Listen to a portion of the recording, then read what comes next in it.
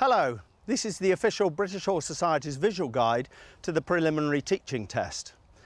This examination is broken down into bite-sized chunks and we're going to go straight onto one of those sections in which we ask the candidate to coach a group of riders for an improvement.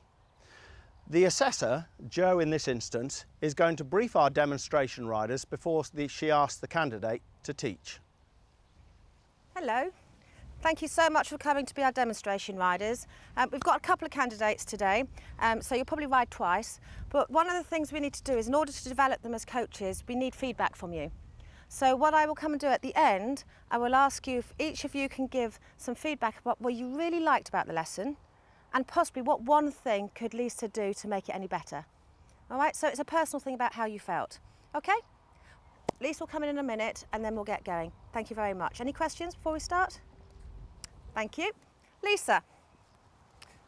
Hi, how are you doing? Hello, I'm fine, thank you. Okay, have you got your lesson plan for me? I have. All right, if I have a look at this. All right, so you produced your pre-planned lesson and its ability to ride transitions. You happy with this? Yes. Okay. You've got a lovely group of riders here. Mm -hmm. What we're going to do is we're going to give you about five or ten minutes to go and just assess them, see how you get on with them. What I will do is I'll probably between that five and ten minutes just say, oh, pause a minute, come and have a chat with me. So when you've had a chance to see them walk trot, a little bit of canter maybe, you can tell me whether you think this is realistic to achieve or if you've got any concerns about it. Okay. All right, so we'll have a two or three minute chat. All right, thank you. After that, you'll get into the main content that you've already produced here and I'll let you get into your teaching. And at the end, we'll have a chat and we'll also ask for some feedback from them. Okay. Happy with all of that? Yes, I think so. Okay, they're all yours then.